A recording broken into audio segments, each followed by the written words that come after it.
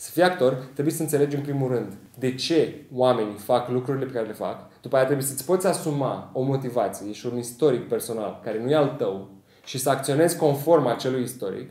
Și în al treilea rând să înțelegi că actoria este o artă și că ce se întâmplă acolo, în fața camerei sau pe scenă, trebuie să aibă încărcătură emoțională. Omul ăla care se uită trebuie să simtă ceva. Asta este baza din punctul meu de vedere și se poate învăța într-un mod foarte rapid.